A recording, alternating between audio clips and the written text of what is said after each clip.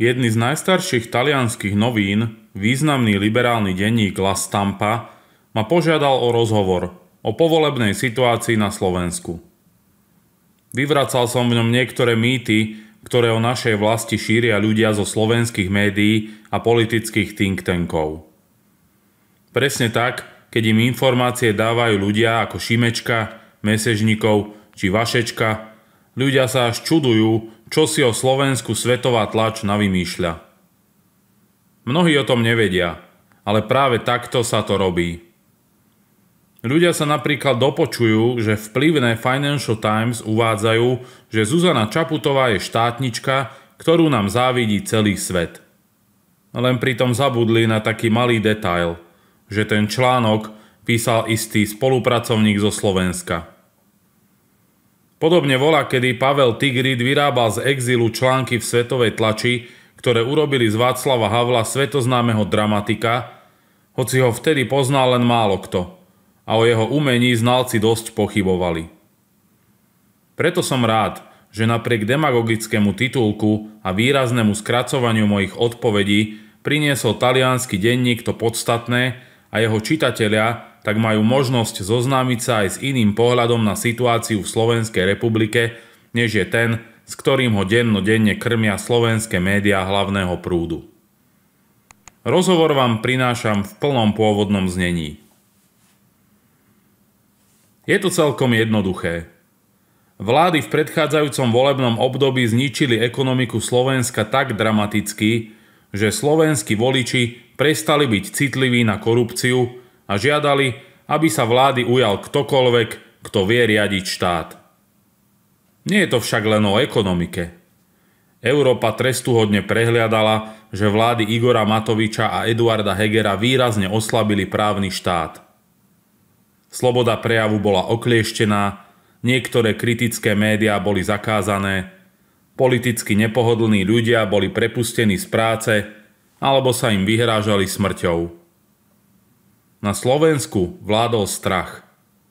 Tieto praktiky ľuďom čoraz viac pripomínali obdobie tzv. normalizácie za komunistického režimu, no Brusel sa tváril, že nič nevidí a naďalej podporoval vládu, ktorá poslušne zbrojila. A európskym elitám to stačilo.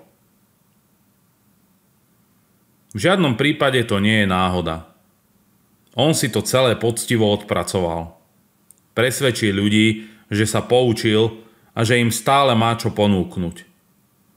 A ten výber bol taký žalostný, že ešte aj voliči maďarskej národnosti, ktorí tradične volia maďarskú etnickú stranu, po prvý raz volili v týchto voľbách radšej toho nenávideného Fica, lebo bol pre nich väčšou zárukou stability. Robert Fico je výnimočne talentovaný politik a čoraz viac sa ukazuje, že aj na európske pomery. Pozrite sa, ako všade padajú lavicové vlády. Akú depresívnu krízu politických kádrov prežívame. On stále vie, ako osloviť voliča, ako si ho vážiť a rešpektovať. To je umenie, ktoré by sa od neho mohli mnohí učiť. Je to síce vzhľadom na jeho kauzy z minulosti veľmi krehká dôvera, ale táto situácia je unikátna a je len na ňom, či si túto politickú milosť zaslúži. Robert Fico je bez pochyby politicky zodpovedný za rast korupcie a odklon od sociálno-demokratických hodnôt v predchádzajúcom období. Ale celkovo sa jeho negatívny vplyv preceňuje a zneužíva. Vysvetlím to na dvoch príkladoch. Celkový majetok oligarchov sa počas tzv. antikorupčných vlád Igora Matoviča a Eduarda Hegera viac ako zdvojnásobil. Predchádzajúca mocenská garnitúra uväznila niekoľkých politických nominantov strany Smer, väčšinu z nich však musela prepustiť na slobodu. Moc oligarchie však oslabená nejako nebola. Skôr naopak. No a po druhé, bývalý premiér Matovič prezidentka Čaputová a médiá hlavného prúdu obviňovali Roberta Fica zo zavraždenia novinára Jana Kuciaka. To je však hrubá manipulatívna lož. Je to podobná demagógia, ako by predchádzajúcu vládu obvinili zo zavraždenia dvoch gejov, lebo to bol Eduard Heger, kto bol vtedy pri moci. To je však absurdné. Bolo to jednoznačne prehnané až hysterické. Bol to podobný hon na bosorky, ako vymyslená aféra Russiagate v Spojených štátoch.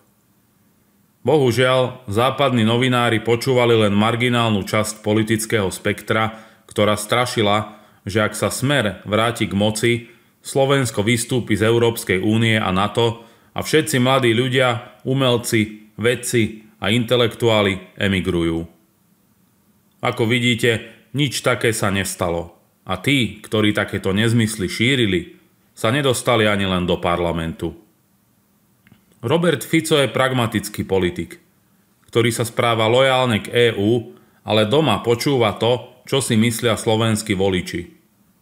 Keby Brusel viac počúval obavy krajín, ktoré susedia s Ukrajinou, možno by bol bližšie k mierovému riešeniu.